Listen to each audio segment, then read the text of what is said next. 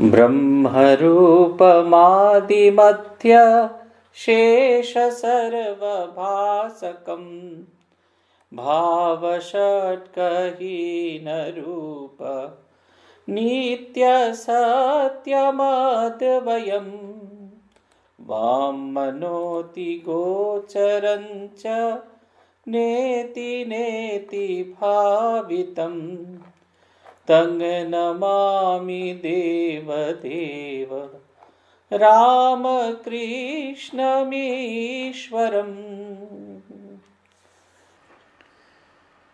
শ্রী ভগবানের অশেষ কৃপায় আবার আমরা সমবেত হয়েছি রামকৃষ্ণ সংঘের ষষ্ঠ সংঘগুরু পরম পূজনীয় শ্রীমৎ স্বামী বিরজানন্দজি মহারাজের কথোপকথন এবং উপদেশের সংকলন পরমার্থ প্রসঙ্গ থেকে পাঠ এবং আলোচনার উদ্দেশ্য নিয়ে আপনাদের সকলকে শুভ ইংরেজি নববর্ষের শুভেচ্ছা জানাই এবং ভগবানের কাছে প্রার্থনা করি যে দু হাজার কুড়ি যেরকম খুব একটা শিক্ষণীয় বর্ষ হয়েছিল অত শিক্ষা আমাদের চাই না, আমরা শিক্ষিত, কিন্তু অত শিক্ষা আমাদের চাই না।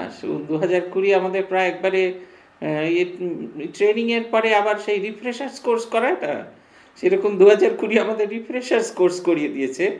ওই রিফ্রেশার্স কোর্স থেকে যেন সে আমাদের মুক্ত রাখে। আগামী দিনগুলো যেন ভালো হয়, আমরা যেন যেমন ধর্মাচরণ করতে পারছি, আনন্দে সমস্ত কিছু করতে পারছিলাম ভগবানের কাছে যেতে পারছিলাম সেইটি যেন আবার তার পুনরায় আবার কাজকর্ম শুরু করে।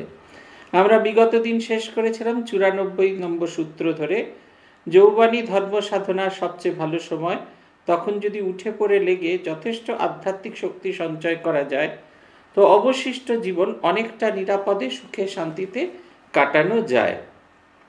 এটা একবারে একবারে এক থেকে একশো বার সত্য আমার মনে আছে। আমরা যখন সাধু হতে আসি, পূজনীয় স্বামী বিমলাত্মানন্দজি আমাদের দেখাশোনা করতেন, যদিও আমরা প্রত্যক্ষ দেখাশোনা পেতাম পূজনীয় স্বামী আত্মস্থানন্দজি। মহারাজ নিজে রাত্রির আড়াইটে থেকে উঠে বসে সাধন ভজন করতেন।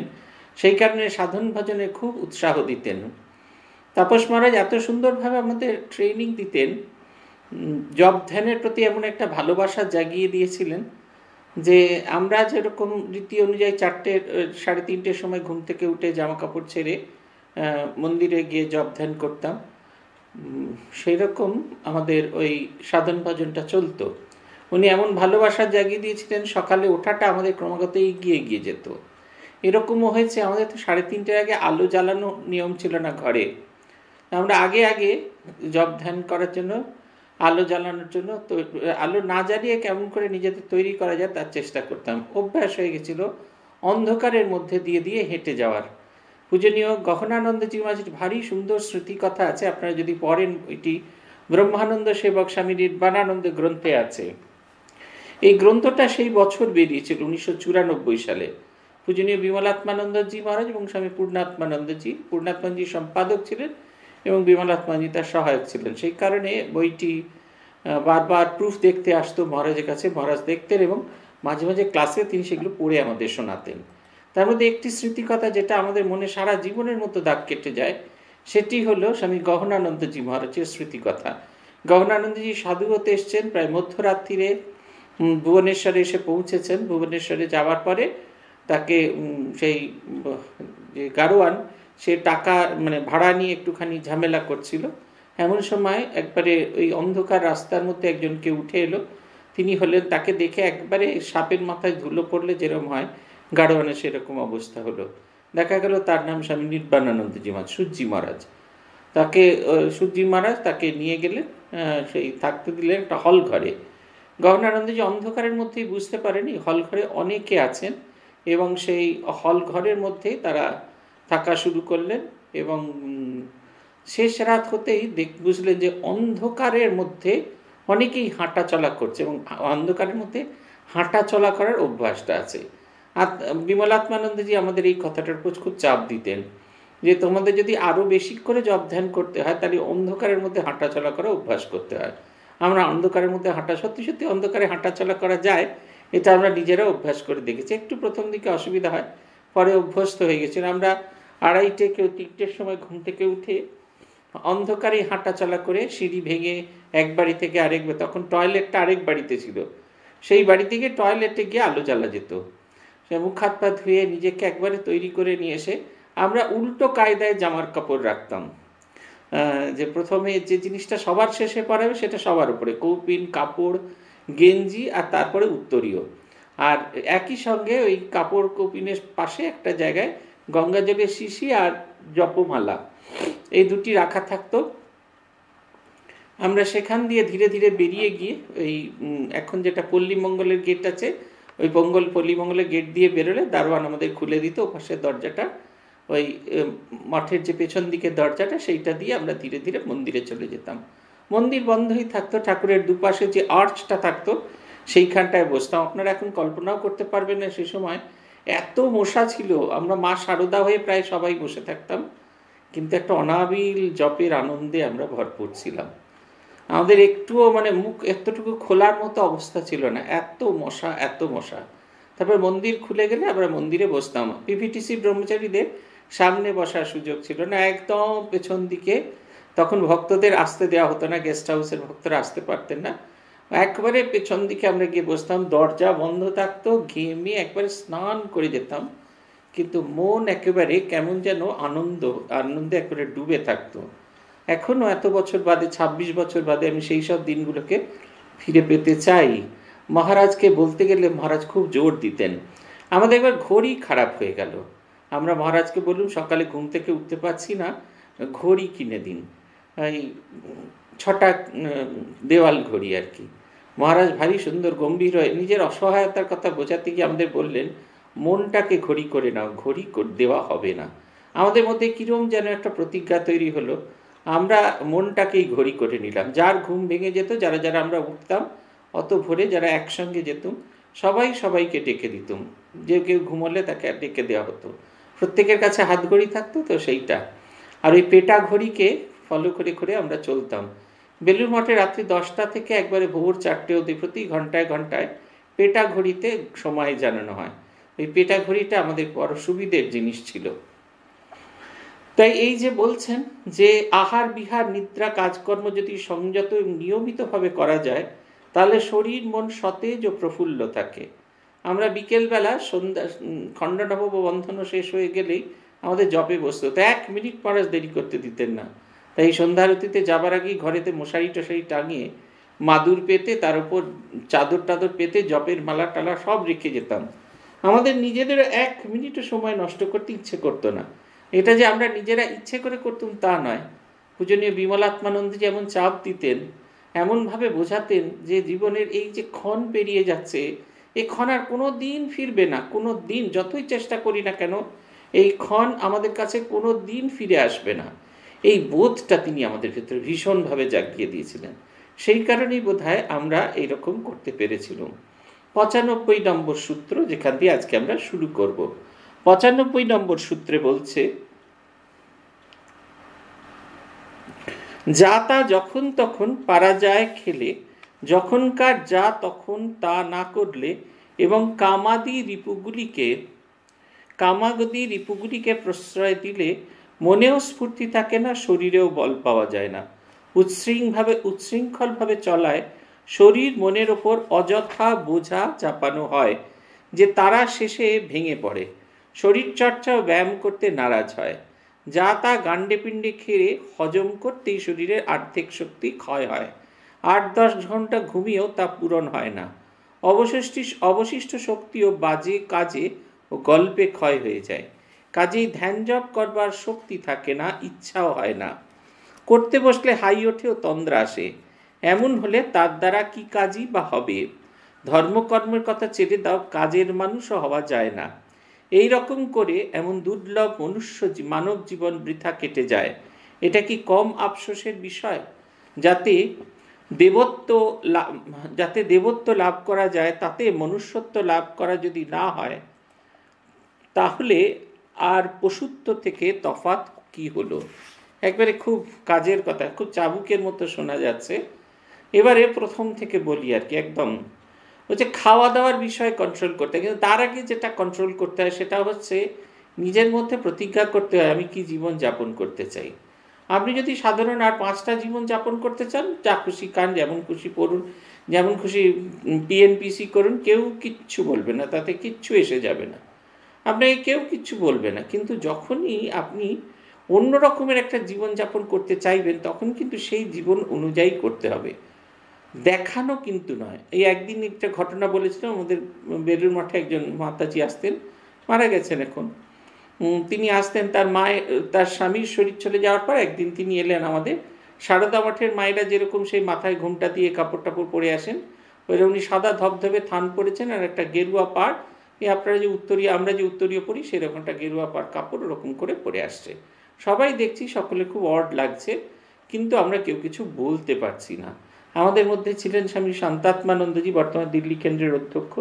উনি খুব ক্যাটক্যাট করে বলে দিলেন, বললেন কি, শারদা মঠের মাতাজিদের মতো ওরকম মাথাটাকে ওরকম করলে হবে? উনি এসেছেন যে কারণে সেই সূত্র ধরে বললেন, ছেলের বিরুদ্ধে কি করে পুলিশে কমপ্লেন করা যায়? ছেলে দেখাশোনা করছে না, কি করবেন? কীভাবে ছেলেকে টাইট করা যায়, শব্দটা উনি ব্যবহার করেছেন। এমন কিছু একটা পদ্ধতি বলুন, যাতে ছেলেটাকে টাইট করা যায়। তো সেই টাইট করানোর চেষ্টা যেখানে করছেন, সেখানে ওই রকম লোক দেখানো ধর্ম নয়। ধর্ম যদি সত্যি সত্যি যাপন করতে হয়, এটা প্রথমে আমাদের শিখতে হবে। প্রথমে আমাদের নিজের কাছে দৃঢ় প্রত্যয় করতে হবে যে আমি কেমন কেমন জীবন যাপন করতে চাই। সেটা আমার নিজের কাছে খুব পরিষ্কার করে দিতে হবে যে আমি কেমন জীবন যাপন করতে চাই। সেইভাবে আমাদের দেখবেন একটা জিনিস অন্য কোনোভাবে নেবেন না। আমরা পোশাকি ধর্ম এবং জীবনযাপনের ধর্ম এই দুটোর ভেতরে ফারাক করতে পারি না। পোশাকি ধর্ম মানে বেশ এই ঠাকুরের ঘরে যাচ্ছি, একটু জব ধ্যান করছি বিভিন্ন ধর্মসভায় যাচ্ছি, এমনকি এই ক্লাসগুলো অ্যাটেন্ড করছি, ভক্ত সম্মেলনে আসছি, এই সমস্ত কিছু করছি। ওই একটা পোশাকি ধর্ম। সকাল বিকেল কোনো রকমের, গুরু বলেছেন একশো আটবার জব করতে একশো আটবার জব করছি। কোনো ঝামেলার মধ্যে নেই। এটা একটা কাজ। আর আরেকটা হচ্ছে, আমি সিরিয়াসলি ভগবানকে ডাকতে চাইছি। জীবনের সর্বাবস্থায় এটা কিন্তু একটা বেশ চ্যালেঞ্জিং কাজ। এটা সকলের দ্বারা হয় না। অতএব নিজের কাছে আগে প্রশ্ন করুন, আপনি কি ধরনের ধর্মজীবন যাপন করতে চান? বেশ, সব রকম আম তেল খাবেন, কই তেল খাবেন, সব খেয়ে ধর্মজীবন যাপন করবেন? না সত্যিকারের ধর্মজীবন যাপন করবেন? এটা নিজের কাছে পরিষ্কার করুন। যদি তাই হয়, তাহলে এই জিনিসগুলোকে করতে হবে। কতগুলি জিনিস আমাদের খুব বাধা দেয়, সেটা হচ্ছে এই কামাদি যে রিপুগুলো, এগুলো প্রশ্রয় দিলে মনে স্ফূর্তি থাকে না, শরীরে বল পাওয়া যায় না। আমার যে জিনিস, আমার যা আছে, তাই নিয়ে যদি আমরা সন্তুষ্ট থাকি, তাহলে আমাদের আর্ধেক কাজ হয়ে যায়। ওই অমুক ইয়েতে গেলুম, ভক্ত সম্মেলনে গেলুম, সেখানে কি সুন্দর একটা শান্তিপুরি বাটিক প্রিন্ট পরে এসছেন। এই শান্তিপুরি বাটিকের একটা কাপড় পরে এসে, ব্যাস, তবে থেকে মনের ভেতরে মনে হচ্ছে ওই রকম গেরুয়া গেরুয়া পার, একটু গেরুয়া গেরুয়া রঙের কালো পার একটা আমাদের পড়তে হবে। জব ধ্যান হয় না, কিচ্ছু হয় না, মনের ভেতর সারাক্ষণ আমার মনে আছে। আমাদের একজন ব্রহ্মচারী একদিন আমাকে এসে বললেন, ওটা চকলেট রঙের, খুব অড কালারের কিন্তু চকলেট রঙের একটা শাল ছিল। বারাসাত মঠ থেকে আমাকে দেওয়া হয়েছিল। আমাকে একজন ব্রহ্মচারী এসে বললেন যে, বাংলাদেশের ব্রহ্মচারী ছিলেন। সেই শালটা আপনি আমারে দেন। আপনি যখনই সেই শালটি পরে ঠাকুর ঘরে যান, আমার খালি ওই শালটার কথা মনে পায় ধ্যান আর করতে পারি না। সঙ্গে সঙ্গে সেটা তাকে দিয়ে দেওয়া হলো যাতে সে ভালো করে ধ্যান করতে পারে। এইটা ভাবা উচিত। এই যে ভাবনা, চিন্তাগুলো, জিনিসপত্র বা নানা রকম যে কামনার জিনিসপত্র, সেগুলো থাকলে মনের বেশিরভাগ অংশের ক্ষয় হয়ে যায়। ফলে ক্ষয় হয়ে গেলে তাই দিয়ে আর কিছু হয় না। এবং মন এমনভাবে ভেঙে পড়ে কোনো কিছু দিয়ে হয় না। দু নম্বর হচ্ছে খাওয়া দাওয়া। খাওয়া দাওয়া সম্পর্কে খুব সাবধান থাকতে হবে। এসব দিক দিয়ে আমরা বেলুন মাঠের কাছে খুব কৃতজ্ঞ। আমাদের খারাপ লাগতো যখন বেলুন মাঠে ছিলুম। বছরের শুরুতে যা খেতে দেয়, বছরের শেষ দিনও একই খাবার খেতে দেয়। কোনো কিছু পরিবর্তন হয় না। আমাদের মনে হতে একটু মুখ বদলানোর জন্য কিছু দেওয়া যায় না। এখন যখন বেলুন মাঠ ছেড়ে এসেছি আমরা, তখন আমরা কিন্তু হাড়ে হাড়ে বুঝতে পাই ওই একই রকম খাবার বড্ড প্রয়োজন ছিল সাধন ভজনের জন্য। ওইটা না থাকলে আমরা সাধন ভজন করে উঠতে পারতাম না। সাধন ভজনের জন্য খুব সাধারণ, হালকা, সহজপাচ্য খাবার খেতে হবে, যাতে সেটা হজম করতে পারে। শরীরের সব শক্তি যদি খাবার দাবার হজম করতেই বেরিয়ে যায়, তাহলে কিন্তু তাই দিয়ে ভালো করে ধ্যান জপ হয় না। আপনারা দেখবেন, যেদিন রাত্রিরে কোনো বিয়ে বাড়ি টিয়ে বাড়ি গেলেন, গিয়ে একটুখানি খুব অল্প করে হলে বিরিয়ানি খেলেন, একটু কটা ফিশ ফ্রাই খেলেন তারপরে একটা ইলিশ মাছ খাবেন না এই একটা ইলিশ মাছেই সব একটা একটা করে খেতে খেতে বাড়ি ফিরে এলেন। তখন তো আই ঠাই করছেই। পরের দিন সকালে যখন জব করতে বসছেন, ঢেকুর উঠছে কি সেসব আমি জানি না। কিন্তু কিছুতেই মন আর জপে বসে না। মন আর কিছুতেই জপে বসে না। এটা কিন্তু ভাবতে হবে। এই ভাবার দরকার দর, আছে। বলছেন শুধুমাত্র যে বেশি খাওয়া দাওয়া বা অন্যরকম জীবনযাপন করলে ধ্যান জপ কেন কাজের জিনিসটাও হয় না? এরপরে একবারে চাবুকের মতো যেটা কথা বলছেন সেটা হচ্ছে এই। এই রকম করে দুর্লভ মানব জীবন বৃথা কেটে যায়। কাল থেকে করব। আজকে হয়নি, কাল থেকে করব। এ বেলা হয়নি, ও বেলা করব। মা ঠাকুরনের জীবনে একদম, এ তো আমাদের জীবনের কথা। মা তার নিজের জীবন দিয়ে বলছেন যে, রোজ সকালবেলা উঠতুম, শরীরটা একটু খারাপ হতে একটু দেরি করে উঠতুম। পরের দিন আরও দেরি হলো, তারপরের দিন আরও দেরি হলো, তারপরের দিন আরও দেরি হলো। উঠে পেরে, উঠে পড়ে লেগে পড়তে ইংরেজিতে যে কথাটা আছে আপ অ্যান্ড ডুইং এই আপ অ্যান্ড ডুইং হওয়াটা ভীষণ ভীষণ ভীষণ জরুরি সাধন ভজনের ক্ষেত্রে। বলছেন, এমন দুর্লভ মানব জীবন কেটে যায়, এটা কি কম আফসোসের বিষয়? এই আফসোসটা হয় আমাদের জীবনের শেষে গিয়ে, যে আমরা আমাদের আমার তো এখন ভীষণ আফসোস হয়। যে এতটা যে হয়েছে আরও হওয়া উচিত ছিল, যেটা যতটা হওয়ার দরকার ছিল, তার আরও বেশি হওয়া উচিত ছিল। ভারী সুন্দর কথা বলছে, যাতে দেবত্ব লাভ করা যায়। এই জীবনে আমরা আমাদের জীবনকে মানুষ থেকে দেবতায় রূপান্তরিত করতে পারি। এটা হচ্ছে মানে একবারে মানে একদম প্রতিষ্ঠিত একটি বাক্য। মানুষ দেবতায় রূপান্তরিত হয়। আমাদের গুরুদের দেখে আমরা এটা শিখেছি যে মানুষ সত্যিকারের দেবতায় রূপান্তরিত হয়। আমার গুরু আমাদের আদর্শ, আমাদের প্রত্যেকের গুরু আমাদের আদর্শ, সঙ্গের গুরুরা আমাদের আদর্শ। তারা চোখে আঙুল দিয়ে দেখিয়ে দিয়েছেন কেমন করে একটা দেবময় জীবন যাপন করতে হয়। সঙ্গে প্রবীণ সন্ন্যাসীরা তারা দেখিয়ে দিয়েছেন কেমন একটা দেবময় জীবন যাপন করতে হয়। আজকে আমরা পূজনীয়া প্রব্রাজিকা, বেদান্ত প্রাণা মাতাজির কথা বলছিলাম। সারদা মঠে একজন মাতাজি কথা প্রসঙ্গে ওনার কথা তুলেছিলেন। সেই প্রসঙ্গে আমি বললাম যে, আমার খুব ভালো লাগছিল দেখতে। একটা ছবি দেখছিলাম। একজন আমাকে পাঠিয়েছিলেন। বেদান্ত প্রাণামাতাজি শরীর চলে যাওয়ার পর সেবা প্রতিষ্ঠান থেকে তাকে নিয়ে যাওয়া হচ্ছে। সেই খাটের ওপর মাতাজি শুয়ে আছেন, তার ঘুমন্ত চোখ দুটো দেখে মনে হচ্ছে ছোট্ট শিশু যেমন খুব নিরাপদে মায়ের কোলে মুখ দিয়ে ঘুমোয়, মাতাজি যেন ঠিক সেরকমভাবে ঘুমোচ্ছেন। ওই ঘুমোতে পারাটা কিন্তু খুব সহজে হয় না। আমরা ওরকম নিশ্চিন্তে ঘুমোতে পারি না, যতক্ষণ না পর্যন্ত আমাদের মাতৃ অনুধান বা মাতৃ ভাবনা সার্থক না হয়। আমি ছবিটা বারবার করে দেখছিলাম, এখন তো মোবাইল ফোনে সুবিধা আছে। জুম করে দেখা যায়, আমি জুম করে ওনার চোখগুলো দেখছিলাম। একেবারে সেই ছোট্ট শিশু, যেরকম আপনারা দেখবেন ছোট শিশু বাচ্চা যেমন মায়ের কোলেতে মুখ দিয়ে ঘুমোয়, মায়ের কোলেতে মাথা দিয়ে ঘুমোয়, নিশ্চিন্তে তার যেন কোনো মানে কোনো রকম যেন কোনো ভয় কিচ্ছু নেই। তিনি যেন ঠিক সেরকমভাবে ঘুমোতে গেছিলেন। আমরা অনেকে, অনেককে এরকম ঘুমোতে দেখেছি। অনেকের শেষ যাওয়ার সঙ্গী আমরা থেকেছি কিন্তু এত ভালো ঘুমোনো আমি খুব কম দেখেছি। এই এগুলা চোখে আঙ্গুল দিয়ে দেখিয়ে দেয় আমাদের যে কেমন করে দেবতা হতে হয়। এই মানু, মনুষ্য জীবনে আমরা দেবতা হতে পারি। তাই মহারাজ বলছেন, যাতে দেবত্ব লাভ করা যায়, তাতে মনুষ্যত্ব লাভ যদি না হয়, তাহলে আর পশুত্ব থেকে তফাত কি? স্বামী বিবেকানন্দকে চিঠি লিখেছিলেন বলরাম বসু। খুব দুঃখ করে লিখেছিলেন যে, রামকৃষ্ণ পরমহংসকে দেবকে ভোজে আমাদের কি লাভ হলো। ভারী সুন্দর একটি উত্তর দিয়েছিলেন স্বামী বিবেকানন্দ। অমন ছোট কথা বলবেন না বলরাম বাবু আপনি ভাবুন, পশু ছিলেন, মানুষ হয়েছেন, দেবতা হবেন। পশু ছিলেন, মানুষ হয়েছেন, দেবতা হবেন। এই মানুষ হবার যদি মানুষও যেন হতে পারি, যদি সেই পশু যেমন ছিলাম সেই জন্তুই যদি থেকে যায়, তার চেয়ে দুঃখের আর কিছু নেই। এই হায় হায়টা আমাদের আত্মস্থানজি বলতেন, ভালো করে সাধন ভজন করবি, না হলে শেষ জীবনে হায় হায়টা সম্বল হয়। এই হায় হায় করে ওখানে গেলে ওখানেও প্যাদানি খেতে হবে।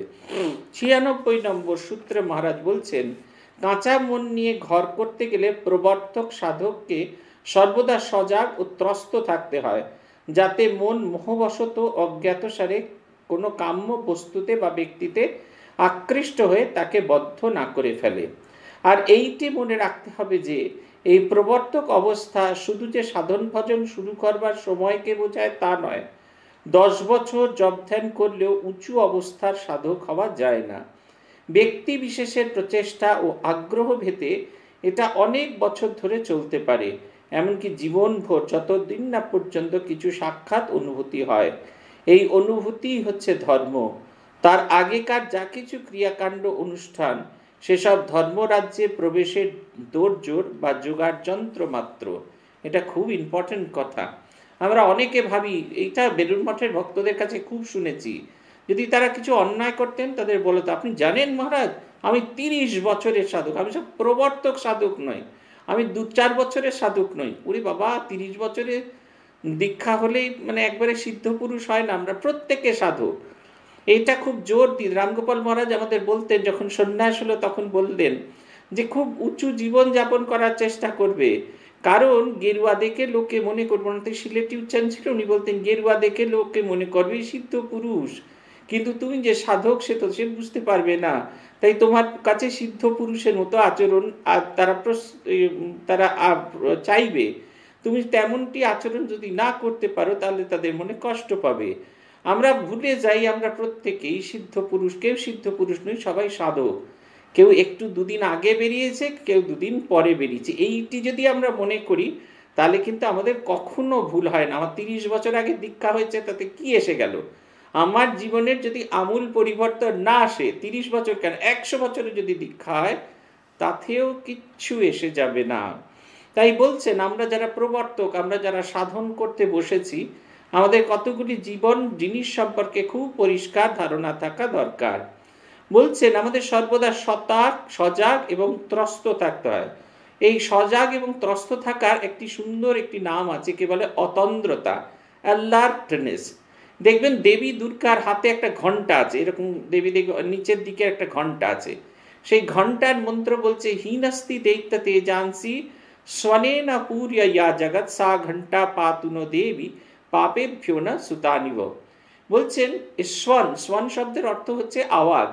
বলছে, দেবীর ঘণ্টার আওয়াজ যখন বাজতে থাকে, তখন তা কি করে? তা হীনাস্তি দৈত্য তেজাংসি দৈত্যদের যে তেজ, সেটিকে হরণ করে নেয়। বলছেন, হীনাস্তি দৈত্য তেজাংসি স্বনে না পুরিয়া ইয়া জগৎ। যে যে দৈত্যদের তার যে তেজ, সেটিকে তিনি হরণ করে নেন। ঠিক ওই রকম অতন্দ্রতা, ওই অ্যালার্টনেস আমাদের, ওই দৈত্যদের, আমাদের মনের যে দৈত্য, তার তেজকে সেটা হরণ করে, এটা বুঝে নিতে হবে।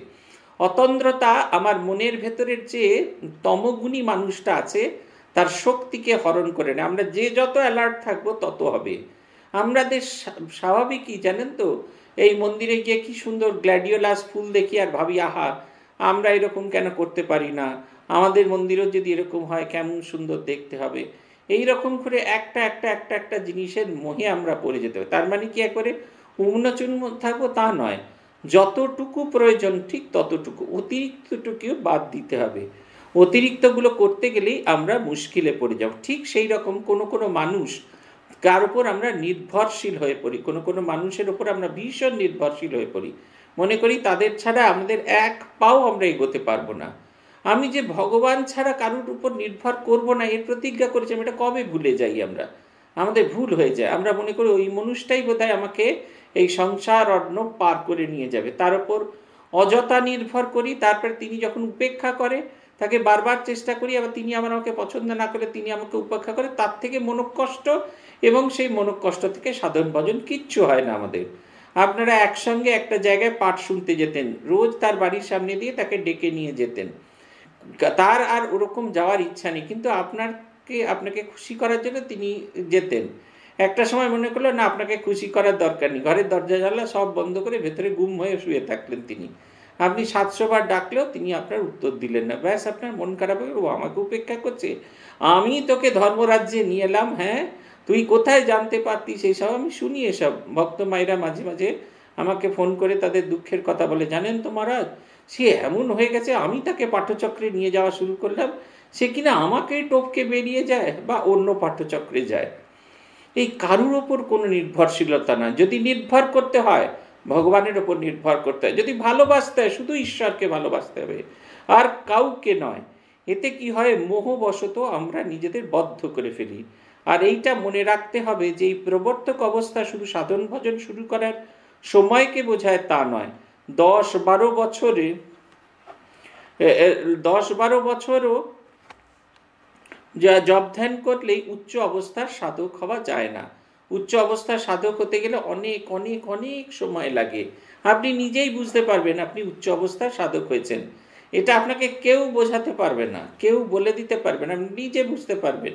যে আপনি উচ্চ অবস্থায় পৌঁছেছেন, আপনি বুঝবেন যে জগতের কোনো কিছুর মধ্যে আপনি বন্ধনে আবদ্ধ হচ্ছেন না। আপনি নিজে বুঝতে পারবেন যে কোনো কিছু আপনাকে বাঁধনের মধ্যে ফেলছে না। আপনি নিজে বুঝতে পারবেন অন্যের বেদনা আপনাকে আপনার হৃদয়কে স্পর্শ করছে। আপনি নিজে বুঝতে পারবেন যে অন্যকে সাহায্য করবার জন্য মন এগিয়ে যাওয়ার চেষ্টা করছে। আপনার নিজের ভেতরে আমূল পরিবর্তন হচ্ছে। একটা সময় আপনি যে শুধুই মাত্র অন্যদের খারাপগুলো চোখে দেখতেন একটা সময় আপনার মনে হবে যে আপনি আর খারাপ কিছু দেখতে পাচ্ছেন না। আমরা যখন শহীদ মিনারের নিচে দাঁড়িয়ে থাকি, তখন গাড়ি সব কিছু পরিষ্কার করে দেখতে পাই। শহীদ মিনারের যত ওপরে উঠতে থাকি, তত কখন সেগুলো বিন্দু বিন্দু হয়ে যায়। মনে, মনকেও যখন আমরা এরকম শহীদ মিনারের চূড়ায় তুলে নিয়ে যাই, সত্যগুণের একবারে চূড়ায় তুলে নিয়ে যাই, তখন কোনো মানুষের কোনো মানুষের খারাপ কিছু আমাদের, আমরা আমাদের চোখে পড়ে না। আমাদের তখন সমস্ত কিছু ভালো লাগে। পূজনীয় মাধবানন্দজি মহারাজের একটি গল্প শুনেছিলাম। মাধবানন্দজি ট্রাস্টি মিটিংয়ে বসে আছেন। কোনো একজনকে কোনোভাবে কোনো শাস্তি দেওয়া হবে। মাধবানন্দজিকে কিছুতেই কনভিন্স করা গেল না যে সে যে কিছু অপরাধ করেছে উনি বুঝতেই পারলেন না। এমন একটা স্তরে নিজেকে তুলে নিয়েছেন, উনি তার নিচে কিছুতেই নামতে পারছেন না। এইটা হচ্ছে, এই অবস্থা যদি হয়, তাহলে বুঝতে হবে আমরা প্রবর্তক নই। প্রবর্তক শুধুমাত্র সংখ্যা দিয়ে বিচার করলে হবে না কিন্তু। প্রবর্তক হচ্ছে আমরা কীরকম একটা কোয়ালিটি লাইফ লিড করছি, তার উপর নির্ভর করছে। আপনাকে দেখলেই বোঝা যাবে আপনি একটা সাধকের জীবন যাপন করছেন। আমাদের মনে আছে, আমাদের কাছে একটি ছেলে আসতো। আমাদের সঙ্গে সাধু বাবার মতো তার যোগ্যতা ছিল না। শিক্ষাগত যোগ্যতা অনেক কিছু গোলমেলে ছিল, সেই কারণে আমাদের সঙ্গে তাকে নেওয়া গেল না। সে একাকী উত্তর কাশিতে থাকা শুরু করল। এই নিজের ব্যবসা সামলে প্রত্যেক বছর ছুটির সময়, এই শীতকালে যে সময় সাধুরা ওপর থেকে নিচে নেমে আসতো, এরকম সাধুদের সাথে ভাব করল। তাদের কুটিয়াগুলো দেখাশোনা করার দায়িত্ব নিয়ে সে উত্তরকাশিতে গিয়ে থাকতো। সাধারণ আপনার আমার সকলের মতো গৃহস্থ মানুষ, সে কি ওখানে গিয়ে থাকতো এবং থেকে সে সেখানে গিয়ে যে সাধন ভজন করতেন এবং এই কুটিয়াতে গিয়ে থাকতে থাকতে এই ভিক্ষা করে খেতেন এই দু তিন বছর এরকম যেতে যেতে যেতে যেতে একটা সময় তিনি বুঝলেন যে এই তিনি তৈরি হয়ে গেছেন। এখন ঘর বাড়ি সমস্ত কিছু ছেড়ে উত্তরকাশী থেকে তিনি সন্ন্যাস নিয়েছেন এবং কুটিয়াতেই থাকেন। এ প্রত্যেক বছর থাকেন। প্রথম যে তিন বছর তিনি ছিলেন কোনো কুটিয়া পাননি, কোনো কুটিয়া থাকতে পাননি। একজনের কুটিয়ার বারান্দাতে থাকতেন সারাটা বছর। আর এই শীতকালের চার মাস যখন যে খোঁজ রাখতেন কোন সাধু নিচে নেমে যাচ্ছেন বা কলকাতার দিকে যাচ্ছেন বা কোথাও যাচ্ছেন, তার কুটিয়াতে গিয়ে তার কুটিয়া পাহারা দেওয়ার জন্য তিন মাস তিনি কোনো রকমে আশ্রয় নিতেন। এখন তিনি সেই কুটিয়াতে থাকেন এবং প্রচণ্ড সাধন ভজন করেন। তাকে দেখলে আমার ভীষণ রকমের শ্রদ্ধা হয়। তিনি এসেছিলেন মঠে, আসেন প্রত্যেকবারই বা আসতে পারেননি। তাকে যখনই মঠে দেখি, তার চেহারা, তার চোখ, মুখ, সমস্ত কিছু বলে দেয়, তিনি সাধন ভজন করছেন। আমার চেয়ে অনেক কম দিয়ে এসেছেন, অনেক পরে এসেছেন এই সাধন জগতে। কিন্তু তাকে দেখে আমি শ্রদ্ধা করি। তাকে দেখলে আমার নিজেকে বড় প্রবর্তক বলে মনে হতে থাকে। বলছেন, তার আগে যা কিছু ক্রিয়াকাণ্ড অনুভূতি হচ্ছে ধর্ম। যতক্ষণ না অনুভূতি হচ্ছে, অনুভূতি মানে আমি বুঝতে পারছি, সবার আগে বুঝতে হবে আমি একজন মানুষ। এটা সবার আগে বুঝতে হবে। তারপরে বুঝতে হবে আমি দেবতা। এই মনুষ্যত্ব থেকে দেবত্বে যে উত্তীর্ণ হচ্ছে, এই অনুভূতিটা যতক্ষণ হচ্ছে, ততক্ষণ অবধি যা কিছু ক্রিয়াকাণ্ড করছি জব ধ্যানের চেষ্টা, মালা জব সব কিছু শুধুমাত্র আড়ম্বর অনুষ্ঠান মাত্র। সাতানব্বই নম্বর সূত্রের কথা হচ্ছে, দেখা যায় যারা প্রথম প্রথম সাধন ভজন করতে, ধ্যান জপ করতে লাগে, তারা যত মনকে ইষ্টে সমাহিত বা একাগ্র করতে চেষ্টা করে মন ততই বেঁকে বসে আর যত ছাইপাশ অবান্তর বিষয় ঘুরে বেড়ায়। এমনকি মনে হয় এরকম বালাই তো আগে ছিল না, তখন যেটা ভাবতুম বেশ মন স্থির করে ভাবতে পারতুম। এরকম কেন হলো? তার মনে হচ্ছে মনের যেসব দিকে স্বাভাবিক প্রবৃত্তি সেই সব বাহ্য বিষয়ে তাকে নিয়োগ করতুম। তাই তার সঙ্গে কোনো দ্বন্দ্ব ছিল না। যেই সদাসদ বিচার করে তাকে অসার বাহ্য বিষয় থেকে ফিরিয়ে এনে অন্তর্মুখ করতে তাকে নিজের বসে আনতে চেষ্টা করা যায়, অমনি সে বিদ্রোহী হয়ে ওঠে। নদীকে বাঁধতে গেলে তার বেগ শতগুণ বেড়ে যায়। তবে তার সেই বেগকে, সেই শক্তিকে যদি অভীষ্ট কাজে লাগানো যায়, তো সহস্র গুণ ফল পাওয়া যায়। আমাদের মনের অবস্থা কেমন? বর্তমান পূজনীয় প্রেসিডেন্ট মহারাজ একটা গল্প বলেন। বলেন, এক মাতাল গিয়েছে দুর্গা ঠাকুর দেখতে। তা সেই মাতাল দাঁড়িয়ে দাঁড়িয়ে দুর্গা প্রতিমা দেখছে, মা দুর্গা মা দুর্গা, মা লক্ষ্মী মা লক্ষ্মী, মা সরস্বতী মা সরস্বতী, বাবা গণেশ বাবা গণেশ, বাবা কার্তিক কার্তিক মনে হওয়া মাত্র তার মনে হতে থাকল। কার্তিক অগ্রাণ পৌষ, মাঘ, পৌষ পৌষ পৌষ পৌষ মনে হতে হতে তার মনে হলো পিঠে, পুলি, পায়েস, চন্দ্রপুলি, এই সমস্ত। তারপরে মনে হয় পিঠে, মনে হতে আর এই পিঠে, হু, পিঠে ব্যথা করছে, ওই লোকটা মেরেছে, ওই লোকটা পাজি, সে আর এখানে থাকে না। আমাদের মন ঠিক তাই। বেশ, ভগবানের শ্রীমুখ দেখছি, বেশ দিব্য মুখখানার দিকে তাকিয়ে আছি। ঠাকুর আমার দিকে তাকিয়ে তাকিয়ে হাসছেন, আমিও ঠাকুরের দিকে তাকিয়ে তাকিয়ে আসছি বেশ, হাই হ্যালো করছি। এমন সময় আমাদের মনে হতে থাকে, যা, সকালবেলা যে বাসন মেজে দিয়ে গেছিল, সেই থালাতে তো ডিমের দাগ লেগেছিল, এ বাবা, সেটা, সেইটা খেয়ে আমার পেট খারাপ হয়েছিল। একবারে চলতে থাকে যে পিঠে পুলি পায়ে সেরকম চলতে থাকে আমাদের মন। কেন এরকম হয়? সেই সূত্র, এই সূত্রে সেটি বলছেন। যারা প্রথম প্রথম সাধন ভজন করতে, ধ্যান জপ করতে লাগে, তারা যত মনকে ইষ্টে সমাহিত বা একাগ্র করতে চেষ্টা করে, মন ততই মেকে বসে সত্যি মেকে বসে। এটার কাজ, কারণ হচ্ছে আমরা ইষ্ট বস্তু থেকে সরে যাই। ধেয় বস্তু থেকে সরে যাওয়া এটাকে প্রত্যেক সাধকের ভেতরে হয়।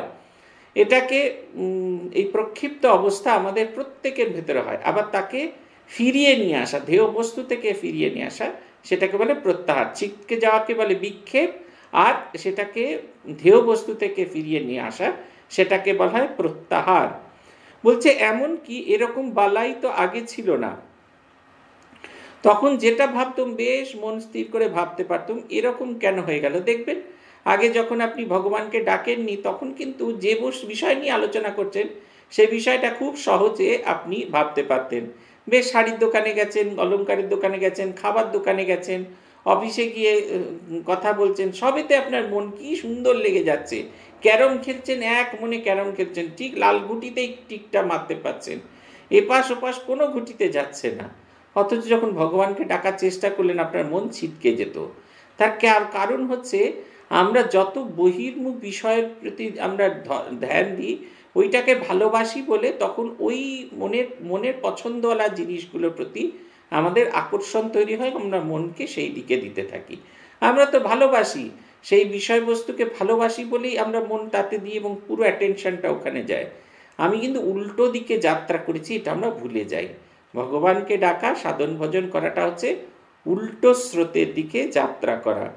আমার মন তার তীব্র গতি আছে, নদীর মতো।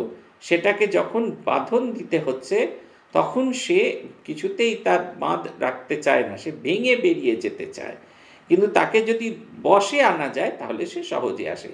আপনারা ভেবে দেখুন, এই যে আমাদের গঙ্গাসাগরের গল্পে মা গঙ্গা নামলেন না? মা গঙ্গা নামার জন্য শিবের জটার কেন প্রয়োজন ছিল? কারণ মা গঙ্গা যদি নামতেন, তার যে তীব্র স্রোত, তার যে তীব্র গতি এই মর্তলোক পুরো ধ্বংস হয়ে যেত। তাই তার তীব্র গতিকে প্রথমে শিবের জটা বদ্ধ করলেন। শিব শব্দের অর্থ হচ্ছে কল্যাণ। তারপরে সেই শিব তার জটাকে উন্মুক্ত করলেন, তার মধ্যে দিয়ে মা গঙ্গা প্রবাহিত হতে থাকলেন। মানে মা গঙ্গার ভেতরে যে এইটি রয়েছে, তার যে কল্যাণকারী সত্তাটা রয়েছে, সেটি যেন শিব উন্মুক্ত করে দিলেন, বিকশিত করে দিলেন। এটাও ঠিক কথা। আমাদের মনের যে কল্যাণকারী শক্তি আছে সেইটিকে আমাদের বিকশিত করে দিতে হবে। এবং যদি আমরা বিকশিত করতে পারি, তবেই আমরা কিন্তু খুব সুন্দর করে আমাদের কাজকর্ম করতে পারি। আটানব্বই নম্বর সূত্র আমরা পড়ছি, সেখানে বলছে, যত্ন চেষ্টার দ্বারা সকল বিষয় সিদ্ধ হয়। বিফল হলে পুনঃ পুনঃ চেষ্টা করো। যদি চেষ্টা করলে সিদ্ধি লাভ না হয়, মনে করবে যেরকম চেষ্টা করা উচিত ছিল, সেরকম করা হয়নি। চেষ্টা করলে সকল বিষয় সহজ ও অনায়াসাধ্য হবে। ক্রমে ক্রমে উহা অভ্যাসে দাঁড়িয়ে যাবে এবং স্বভাবে পরিণত হবে। এটা হচ্ছে কথা। যত্নের দ্বারা এবং চেষ্টা, যত্ন চেষ্টার দ্বারা সকল বিষয় সিদ্ধ হতে হয়। যদিও কথাটা পরপর না গিয়ে আগে পরে হয়ে গেছে, প্রথমে চেষ্টা করতে হয় এবং এই চেষ্টাটা with all love with all care করতে হয়। যতক্ষণ না পর্যন্ত মনকে সমস্ত ভালোবাসা দিয়ে করতে পারি, আমাদের চেষ্টাটা কাজে লাগে না। আমাকে বুঝতে হবে কোন কোন জিনিস আমার কাছে ক্ষতিকারক। অনেকে আমাদের বলেন, মনে খুব অশান্তি। আমরা জিজ্ঞেস করি, অশান্তির কারণগুলো কি? তারা নিজেরাই বলে, অশান্তির কারণ এই, অশান্তির কারণ সেই, অশান্তির কারণ তাই। এই অশান্তির কারণগুলো যদি আমরা নিজেরা আইডেন্টিফাই করে নিতে পারি, সেগুলোকে যদি আমাদের জীবন থেকে আমাদের কম্পিউটারের ভাষায় ডিলিট করে দিতে পারি দেখবেন জীবন অনেক সহজ, সরল হয়ে যাচ্ছে এবং এই ডিলিট করাটা অত্যন্ত যত্নের সঙ্গে, ভালোবাসার সঙ্গে করতে হয়। যদি চোর কাঁটা থাকে আপনার খেতে তাহলে কিন্তু সেই চোর কাঁটা একটা সময় যখনই আপনি যাবেন, আপনার কাপড়ে, পোশাকে, আশাকে লেগে যাবে। অতএব প্রথমে চেষ্টা করতে হবে আপনার ক্ষেতটাকে চোর কাঁটা মুক্ত করতে হবে। যদি আমরা ক্ষেতটাকে চোর কাঁটা মুক্ত না করতে পারি, তাহলে কোনোভাবেই, কোনো অবস্থাতেই আমরা কিন্তু ভালো করে এগিয়ে যেতে পারব না। তাই দুটো জিনিস করতে হয়, সাধন ভজন অত্যন্ত যত্ন এবং চেষ্টার দ্বারা সকল বিষয় সিদ্ধ হয়। আমরা বারবার পরাভূত হব। প্রথমবারে সাধন ভজন করতে গিয়ে পরাভূত হব, কিন্তু বারবার আমরা চেষ্টা করব। সেই একই ভালোবাসা নিয়ে, আমরা সেই একই ভালোবাসা নিয়ে যেন বারবার চেষ্টা করে যেতে পারি। আমরা পুনঃ পুনঃ পরাভূত হব, পুনঃ পুনঃ চেষ্টা করব। যদি চেষ্টা করলে সিদ্ধি লাভ না হয়, মনে রাখবে যেরকম চেষ্টা করা উচিত ছিল, সেরকম করা হয়নি। এ বিষয়ে আমি আপনাদের একটা অভিজ্ঞতার কথা বলি। আমাদেরও এরকম মনে হয়, যতটা চেষ্টা করছি কেন হচ্ছে না। আমি একটা সূত্র খুঁজে বার করেছি, এটা আমি আমার নিজের ক্ষেত্রে ভাবি। আপনারা চেষ্টা করে দেখতে পারেন। যখন আমার মাঝে মাঝে সাধন ভজন ভালো হয় না, তখন আমি একবার করে আমাদের যে দীক্ষার সময় যে বইটি দেওয়া হয়, সাধন পদ্ধতি লেখা থাকে অপর কাউকেও দেখাবে না সেইটি আমি খুলে দেখি। এবং প্রত্যেকবার ওই বইটি আমাকে আলো দেখায় এবং ওই বইটিতে যেভাবে সাধন ভজন করার কথা বলা হয়েছিল, আমি নিজে অনুভব করি, আমি সেইভাবে সাধন ভজন করিনি। কোথাও যেন একটা ত্রুটি হয়ে যায়, কোথাও যেন একটা ঘাটতি হয়ে যায়। এটা গুরুমুখী বিদ্যা, সাধন ভজন সম্পূর্ণভাবে গুরুমুখী বিদ্যা। গুরু যেরকমভাবে বলবেন, ঠিক সেরকমভাবে চলতে হবে। রাম বাবা, শ্যাম বাবা, যদু বাবা কীভাবে বলেছে that doesn't make any meaning গুরু যেমনভাবে বলেছেন, সেইভাবে করতে হবে। গুরু বলে দিয়েছেন, সব কথা আমাদের মনে রাখা সম্ভব নয়। তাই জন্য গুরু এই বইটি আমাদের দেন। আমাদের সঙ্গে সঙ্গে থাকেন, বারবার পড়তে হয়। আপনারা দেখবেন কোনো না কোনো ভুল হচ্ছেই। এবং এইটা নিয়ে গুরুর সঙ্গে চর্চা করতে হয়, সাধন ভজন নিয়ে। আসলে গুরুরা যখন যা, গুরুরা যখন শরীরে থাকেন, আমরা কখনো খুব সিরিয়াসলি সাধন ভজনটাকে নিতে পারি না। সিরিয়াসলি যদি সাধন ভজন নিতে পারি, গুরুদের ওই পাঁচ দশ বছরের থাকার এতেই আমরা জেনে নিতে পারি তার কাছ থেকে। চিঠি লিখতে পারি, এই লিখতে পারি, এগুলো পরে আমাদের সাধন ভজনের সহায়ক হয়। দীক্ষাটা নিয়ে আমরা মনে করি যেরকম স্মরণানন্দজির কাছে একজন দীক্ষা নিলেন নরেন্দ্রপুরে। দীক্ষা নিয়েই বেরিয়ে এসে লাফাচ্ছেন আর চেঁচাচ্ছেন, বলছেন, হা, কি আনন্দ! আজ থেকে রামকৃষ্ণ মিশনে সব গেস্ট হাউসে থাকার পারমিশন হয়ে গেল। এইটা যদি আমাদের দীক্ষার লক্ষ্য হয়, তাহলে কিন্তু আমরা কোনোভাবেই কিছুতে এগোতে পারব না। ভগবান আমাদের জীবনের লক্ষ্য কেমন করে যেতে হবে? এবং প্রত্যেকবার, আমি নিজে প্রত্যেকবার লক্ষ্য করে দেখেছি যে যে সাধন ভজন ঠিক সময় ঠিক মতো হচ্ছে না, তার মূল কারণ আর কেউ নয়। এক্স নয় ওয়াই নয় জেড নয়, পরিবেশ নয়, পরিস্থিতি নয়, কিচ্ছু নয়। সবটুকু আমি আমি এবং আমি। আর কেউ হতে পারে না, কেউ হতে পারে না। আমি ছাড়া আমার চেয়ে বড় বাধা আর কেউ হতে পারে না।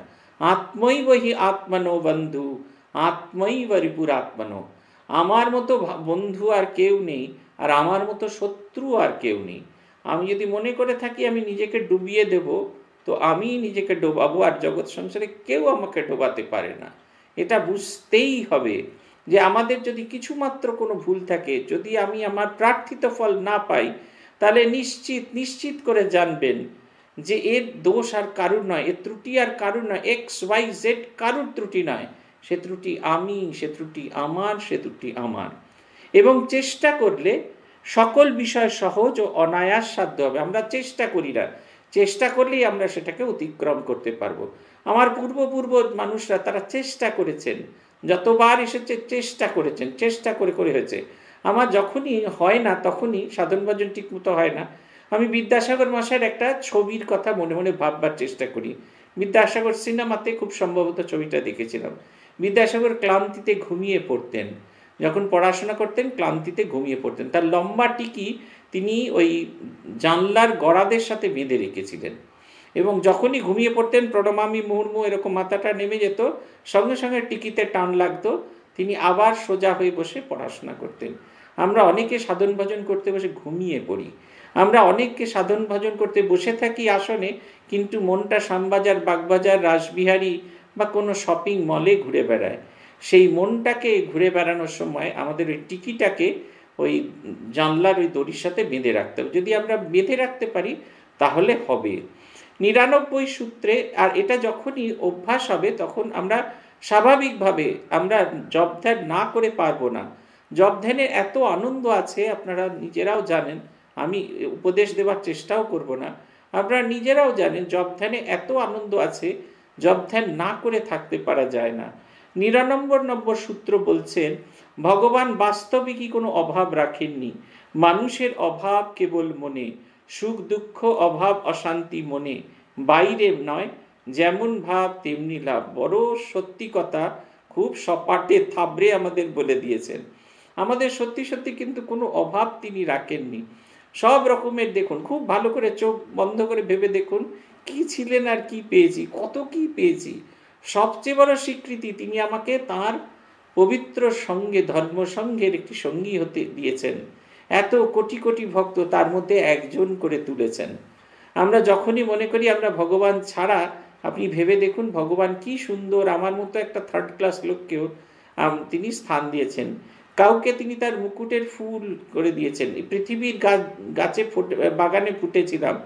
তুলে তিনি কাউকে তার মুকুটে স্থান দিয়েছেন, কাউকে তার কণ্ঠহারে, কাউকে তার বাজুবন্ধে কাউকে তার কোমর বন্ধে কাউকে তার পাদপদ্মে স্থান দিয়েছেন। তার অঙ্গ সংলগ্ন করে রেখেছেন, তার গায়ের সঙ্গে ঠেকিয়ে রেখেছেন। আমাদের দীক্ষা হওয়ার সময় মনে নেই? সকলের গায়ে একটা করে পবিত্র বস্তু ঠেকিয়ে দিয়েছেন, তিনি তাকে আমার গায়ের সঙ্গে ঠেকিয়ে রেখেছেন। অথচ আমরা এত কিছু পেয়েও সেটাকে বুঝতে পারি না। তিনি আমাদের কোনো বাস্তবিক অভাব রাখেননি, কিন্তু আমাদের অভাব সবটা মনে। যদি মনে হয় যে আমার হচ্ছে না, এ জাতীয় অভাব থাকা খুব ভালো। এ জাতীয় অভাব থাকা খুব ভালো। কিন্তু অমুকের কাশ্মীরি শাল আছে অমুকের কি বেশ জর্দোশি, বেনারসি আছে, আমার নেই, সকলেরই মা আছে, আমার কেন নাই? এই কথাটা বাদ দিয়ে আমরা সব কিছু ভাবি। সেই গান ছিল না বাদশাহ শোন শোন শোন, মজার কথা ভাই। আমার কুত্তা সুধায় ভালুক সুধায়, সকল সুধায় হয়। সকলেরই মা আছে, আমার কেন নাই? আমরা কিন্তু কখনো নিজেকেই খোঁজ করি না। সকলেরই মা আছে। আমার নেই কেন? আমি আমার মাকে কেন খুঁজে পাচ্ছি না? কেন আমার ভিতরে মাজাই মাজাই ইচ্ছাটা জাগছে না? এই অভাবটা এই অভাবটা থাকা খুব জরুরি। আমরা এই অভাব ছাড়া বাকি সব অভাব আমাদের কাছে ভাব হয়ে দাঁড়ায়। সুখ, দুঃখ, অভাব, অশান্তি সব মনে। আপনি দেখুন মা ঠাকুরনের জীবনী। আমরা এই এই ঘটনা আমি অনেকবার বলেছি, আবারও বলি, আমার বড় ভালো লাগে আত্মস্থানজি কথাটা বলতে। আমরা দক্ষিণেশ্বর ঘুরে এসেছি। ঘুরে এসে বলছি, মায়ের ঘরটিকে খুব ভালো লেগেছে। কি সুন্দর চওড়া বারান্দা, গঙ্গার ফুরফুরে আভা আসছে। মহারাজ বলতেন, আগে না। দু মানুষ সমান ইয়ে বেড়া দেওয়া থাকতো।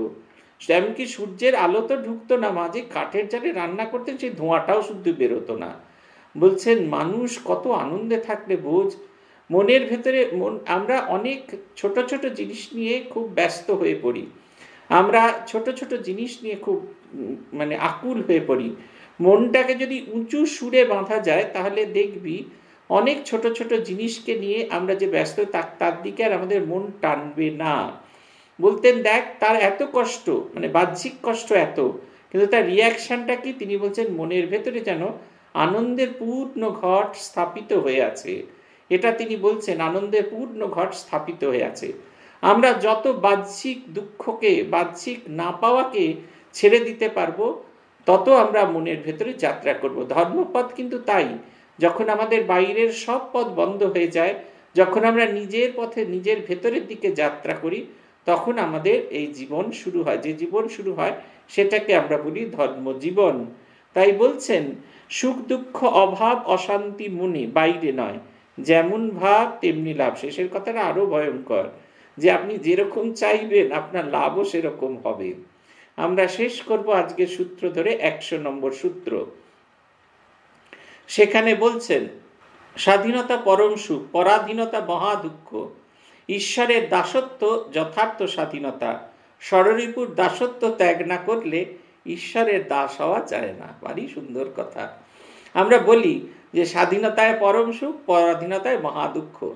হ্যাঁ স্বাধীন আমরা স্বাধীন হয়েছি আর কি। আগে স্বামীর ইয়েতে থাকতে হতো, স্ত্রীর কথা শুনে চলতে হতো বাবা মার কথা শুনে চলতো একটুকু স্বাধীনতা নেই। আমরাও ছেলেবেলায় কতবার বলেছি, আমাদের জীবনে সামান্যতম স্বাধীনতাটুকু নেই। মা, এতটুকু ছাড়েন না। সন্ধে হলেই টিক টিক টিক টিক করতে থাকে, বাইরে কি করছ? আমার এখনও মনে আছে, তিনটে চল্লিশে স্কুল ছুটি হতো, চারটের মধ্যে আমরা এসে যেতুম বাড়িতে। চারটে দশ হয়ে গেছে একটা দোকানে একটা দোকানে বই কিনতে গেছি, বই পাইনি, স্কুলে এরকম জানুয়ারি মাসের সময়। স্কুলে বই কিনতে গেছি, খুব দেরি, সবাই বই কিনছে তো, আর আমাদের মতো ছোট ছেলেকে কে পাত্তা দেবে? আমার একটা বইয়ের দরকার, কারোর আটটা, দশটা বইয়ের দরকার, তাদেরকে সবাই অ্যাটেন্ড করছে। আমার চারটে, দশের বদলে চারটে কুড়ি হয়ে গেছে। আমি ফিরে এসে দেখছি, ততক্ষণে মা কাপড় চোপড় পরে রিক্সে করে স্কুলে চলে গেছেন। তারপরে সারা স্কুল খোঁজা আছে, আমি তো বাড়িতে ঠক ঠক করে বসে বসে কাঁপছি যে যখন আসবেন কি হারে পিটুনিটা খেতে হবে? মানে ওদের ডুয়েল পিটুনি তো, একবার এখানে খাব আর পরের দিন কালকে গিয়ে স্কুলে গিয়ে খাব। সেই বসে আছি, খুব দুঃখ হচ্ছে। আর তারপরে দেখি খানিক্ষণ পরে মা সেই সাড়ে চারটা টাকা হাঁপাতে হাঁপাতে ফিরে এসে বাড়িতে এসে দেখছেন যে আমি এসে গেছি। ফোন করে স্কুলের প্রিন্সিপালকে জানালেন, এসে গেছে। হিন্দুস্তান লাইব্রেরিতে গিয়েছিল বই আনতে, সেখানে গিয়ে দেরি করে ফেলেছে। মা তো যেমন দিলেন, সে তো আমাকে খেতে হলো। তার পরের দিন স্কুলে যাওয়ার পরে প্রিন্সিপাল থেকে যত মাস্টারমশাই ছিলেন, যারা উপস্থিত ছিলেন, প্রত্যেকে মানে যেন যেন একটা অপরাধী হয়ে গেছি যে কেন আমি দেরি করে গেছি? তখন মনে হতো এই পরাধীনতার মধ্যে বেঁচে থেকে কোনো লাভ নেই। একটা দিন একটু নিজের মতো খুশিতে ঘুরে বেড়াতে পারব না আমরা? এ আমাদের কি ধরনের একটা পরাধীন দাসুর জীবন? ঠিক এই রকম আমরা তার থেকে ভাবি, বা আমাদের তখন মনে হতো, বড় হলে আর এই রকম জীবন আমাদের পেতে না আমরা এখনও কিন্তু সেই দাসের জীবন ফিরে পেতে চাই। এই যে জগন্মাতার জগন্মাতার দাস হয়ে থাকতে চাই, তিনি যেন আমাদের দুহাত দিয়ে আগলে রাখেন। আমি চোখ বন্ধ করে স্বপ্ন দেখি, আমি চোখ বন্ধ করে যাকে বলে ফ্যান্টাসি করি। যে যখন পড়ি, মা জগন্মাতা আছেন জয়রামবাটিতে কল্পনা করার চেষ্টা করি। আমার প্রথমবারে মানে জ্ঞান তো প্রথমবারে আমরা যখন ইয়েতে গেছিলাম, প্রথমবার মায়ের বাড়িতে গেছিলাম, আমরা ময়ালি ওই কামারপুকুরের যে গেস্ট হাউস সেটার উদ্বোধনে গেছিলাম। আত্মস্থানন্দজি আমাদের পাঠালেন জয়রামবাটি দেখতে। জয়রামবাটিতে গেলাম, তখনও মাতৃমন্দির বন্ধ। আমাদের পুরনো বাড়ি, নতুন বাড়ি নিয়ে যাওয়া হলো। এখন যেমন আশ্রমের মধ্যে দিয়ে পুরনো বাড়িতে যেতে হয়, তখন পুরনো বাড়ির দরজা দিয়ে পুরনো বাড়িতে ঢোকা যেত। আমরা সেই দরজাটা ঠেলে ভেতরে যখন ঢুকলুম, মনে হলো মা যেন আমাদের জন্য অপেক্ষা করে আছেন। সেই মাটির দেওয়ালের মধ্যে গিয়ে এখনকার মতো তো ঝিকচাক এখন তো উঠতেই দেয় না। তখন উঠতেও দিত, অনেক কিছু বছর আগে অব্দি উঠতে দিত। আর আমাদের জন্য দরজাগুলো খুলে দেওয়া হয়েছিল। আমরা ভেতরে ঢুকে মায়ের পায়ে প্রণাম করছি। তখন তো বয়স অল্প, সদ্য সদ্য এসেছি। মনের মধ্যে সবসময় একটা ফ্যান্টাসি আছে। মনে হচ্ছে মা যেন সেই পা ছড়িয়ে বসে আছে। সবাই যখন ঘুরে বেড়াচ্ছে, আমি সেই বারান্দাতে চুপ করে বসে ভাবার চেষ্টা করছিলাম।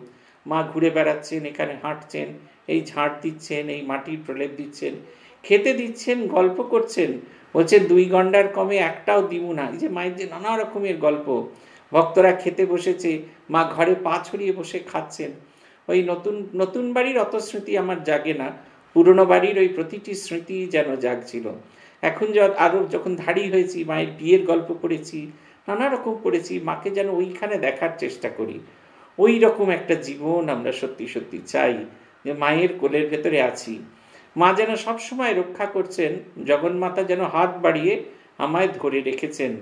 বলছেন, ঈশ্বরের দাসত্ব যথার্থ স্বাধীনতা, ভগবানের দাসত্ব করা যথার্থ স্বাধীনতা। স্বরূপু দাসত্ব ত্যাগ না করলে ঈশ্বরের দাস হওয়া যায় না। যতক্ষণ না পর্যন্ত আমরা আমাদের ইন্দ্রিয়ের দাসত্ব করব ততক্ষণ হতে পারব না। আমাদের একজন মহারাজ ছিলেন, তিনি বলতেন, আমি হবি না স্বামী হবি? আমি মানে আই, আমি। আর স্বামী নিজের অধীশ্বর হবি কিনা? তিনি খুব জোর দিতেন, কি হবি? আমি হবি না স্বামী হবি? তা আমরা বলতাম, স্বামী হব। এই স্বামী হবার চেষ্টা হতে হবে। আমি আমি, আমার দরকার নেই। আমি যেন প্রভুর দাস হয়ে থাকতে পারি। এই ভাবনাটা যেন আমাদের জাগে। এই নতুন বছরে আমরা একটা বছর চেষ্টা করে দেখি। ট্রায়াল রান তো, সারা জীবন ধরেই তো ট্রায়াল রান দিলাম। একটা বছর আমরা সবাই মিলে চেষ্টা করে দেখি, ভগবানের দাস হতে পারি কি না জানবেন, ভগবানের দাস হতে পারলে জীবনটা শুধরে যাবে। খুব আনন্দে থাকবে। শ্রী ভগবানের কাছে প্রার্থনা, আমার অনেক খেলা টেলা হলো, এবার যেন তোমার ক্রোড়ে আসতে পারি। সেই রবীন্দ্রনাথের গান আছে না?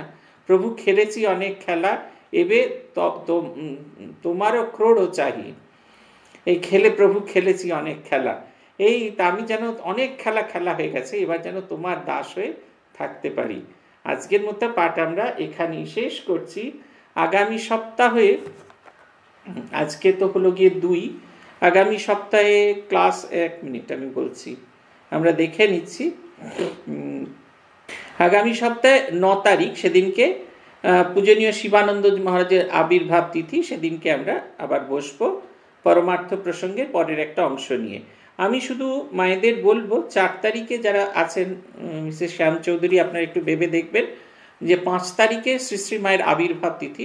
চার তারিখে যদি আপনার তরফে কোনো অসুবিধা না থাকে, আমার তরফে কোনো অসুবিধা নেই ক্লাস নিতে, পার্শ্বদ কথার ক্লাস নিতে।